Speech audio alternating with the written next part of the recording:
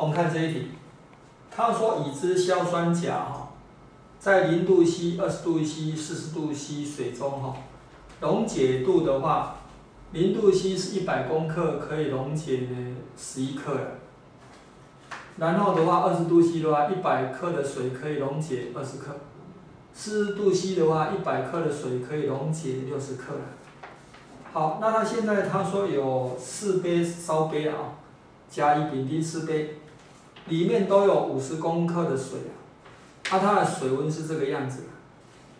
好，那现在哈，嗯，所加硝酸钾的这这个质量哈，呃，如这个表。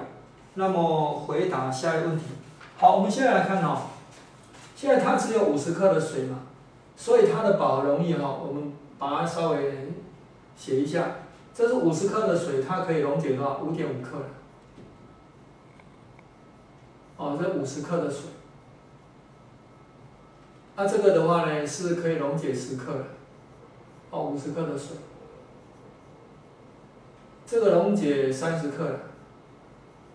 哦，这是五十克的水。好，所以的话哈，这个的话没有超过了，哦，这个没有超过。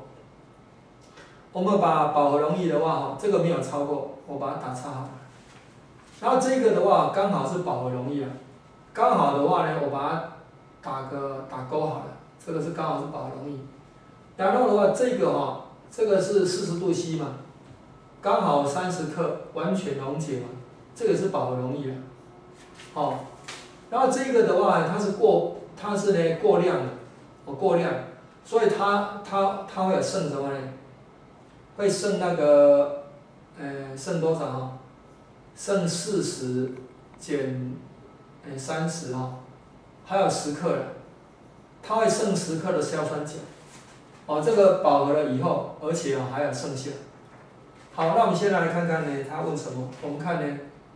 第一小题啊，加热使水温上升了哈，下列哪一杯水溶液的浓度会增加？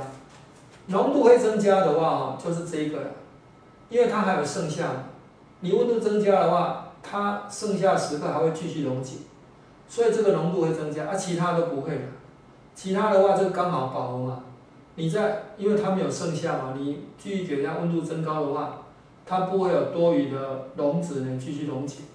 所以这一题哈，应该要选丁啊，哦，应该选丁，所以应该选 D。再看呢，第二小题，甲、乙、丙、丁四杯水溶液中，吼，有哪几杯硝酸钾水溶液是饱溶液？这个是啊，这个是啊，这个也是啊，而且它还有剩下，所以的话应该是乙、丙、丁啊，哦，乙、丙、丁，所以应该要选 C 啊。第三小题。下列哪一杯水溶液水温哈下降到二十度 C 哈，没有硝酸钾晶体数晶体析出？好，那你呢？如果把它给降温哈，降到什么呢？降到那个零度 C，零度 C 的时候哈，它可以溶解什么呢？五点五克嘛，哦，可以溶解五点五克嘛。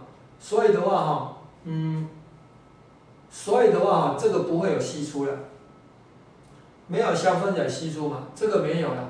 这个零度 C 的话可以溶解五点五克嘛？但是它只有五克啊，所以不会析出，这钾不会析出了。所以呢，我们哦，呃，钾不会析出。然后这个的话，我给它呢温度哈降到呢零度 C，降到零度 C，它只能溶解五点五克，所以它会有析出了。呃，或者说这个没有析出的话呢，我把它打叉。这个有析出的话，我把它打勾了。它这个你温度哈下降到，呃，这下降零度，这下降到二十度嘛，下降二十度的话，它只能溶解十克嘛，所以它会有十克析出，所以也会有析出了。啊，这个的话当然会析出了哦，所以的话没有析出的就是钾，钾它没有析出了，钾杯没有析出，所以呢第三题应该要选 A 了。再看呢第四小题。下列哪一杯水容易加入十公克同温度的水后，哈，仍然呢为饱和溶液啊？加入十公克的水后，仍然为饱和溶液。嗯，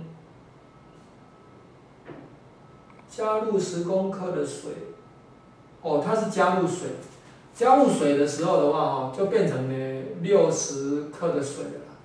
这个时候的话哈，它就变成什么呢？你加入水的话哈，因为什么呢？因为这些的话哈，这个只是刚刚好饱和，刚刚好饱和嘛，所以你把水加进去的话，它就一就呢不是饱和溶液了。啊，这个本来就不是饱和溶液嘛，所以你加水以后的话，它浓度会降低，这三边浓度都会降低啊。那我们来看看哦，这个的话哈，你再给它加入十克的水，你加入十克的水的话，它可以再溶解六克，也就是说哈，这剩下呢十克嘛，你再加十克的水的话，它可以再溶解十克，再溶解十克的话哈。所以呢，它还有四克还没有溶解，所以它还是饱和溶液，所以丁这一杯还是饱和溶液，你再给它加十克的水，它还是饱和溶液，所以应该呢选 D 的，哦，第四题应该选 D，哦，其他的话呢都会被稀释，哦，这一杯的话没有饱和嘛，所以它浓度会被稀释，这一杯刚刚好是饱和，你再给它加水的话，它就不是饱和了，哦，这个也会。这个的话，浓度也会降低，啊，只有这个浓度不会降低啊，因为它还有剩下的什么呢？剩下溶质嘛，它还可以再溶解六克，哦，这个时候的话，溶质哈，最后就剩下四克，所以第四小题应该要选 D。